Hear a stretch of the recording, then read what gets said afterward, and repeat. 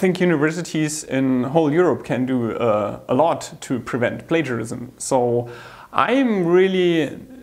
have any uh, concrete solution what a certain university in Ukraine have to do. It is more like that I have a bunch of ideas what all universities everywhere in Europe could do. And from my experience, the most important point is that in the universities, all stakeholders, like the scientists, the students, the administrative staff, they all start talking about issues of integrity and plagiarism and to find what they're um, doing already quite well and where they think the problems are. And then starting discussing what they think would be appropriate solutions for them. So my most important message would be um, start talking about this issue and try to find solutions uh, which work best for you. And then maybe also um, talk with some colleagues uh, from other countries, uh, and that's why we have, for example, the cinema, uh, seminar here from the Council of Europe, um, what experience they have. So start this exchange and uh, discussion of ideas and solutions about uh, problems which might be there.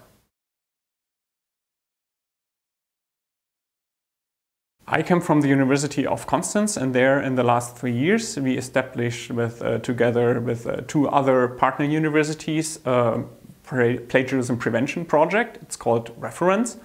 And uh, there um, we tried to um, support uh, faculty and students to do the right thing, more, uh, the right thing um, more easily. That means we provide them with information material, we provide them with uh, educational material so that a lecturer in class gets an idea how he could start uh, discussing uh, the topics of integrity and plagiarism prevention with the students or that uh, she has an idea, oh, here's a good explana uh, explanation video to um,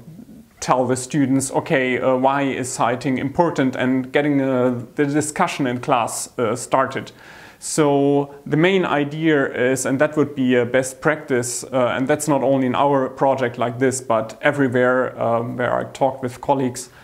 the best idea is not to uh, rely on something like instruction to tell somebody you have to do this or you have to do that, but try to get into a discussion about what we should do in university and how we can achieve that and how we um, uh, can ensure that everybody um, will work uh, in, in, a professional manner or with the scientific methods we want to see in our texts or in our scientific work.